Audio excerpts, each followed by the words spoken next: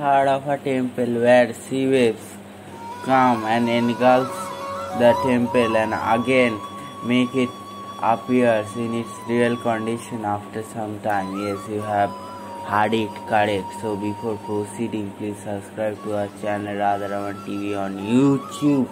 So let's get started.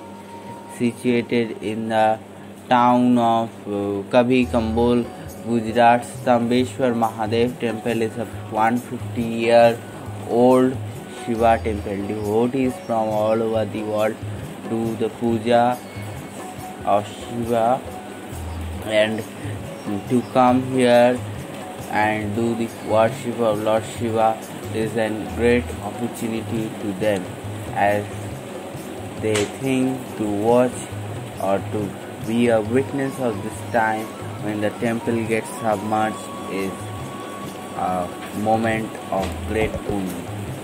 The shivling is 4 feet high and the most important fact about this temple is its disappearance and reappearance. Actually, during the time of the tides, the temple gets engulfed completely by seawater. But within no time, it appears again in its glory. Devotees believe that the sea does Jalabhishek of Lord Shiva.